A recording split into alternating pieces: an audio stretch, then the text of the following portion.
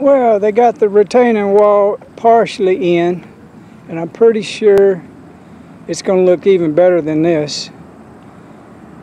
But for right now, they got it backfilled, and it's pretty level. You can see the curb and gutters dro dropping away, and the uh, wall is at the same elevation. So I'll take some pictures from different angles, kind of give you an idea what it looks like right now with the big old wooden ties they got in there. Looks good. I don't know what that is. That that right there, it, it's some kind of tubing. Huh.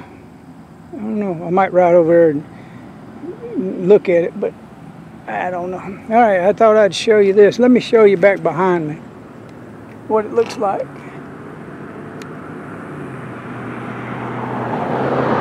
As you can see, they got it going on. They still got a lot of work to do. All right. That's enough from this angle.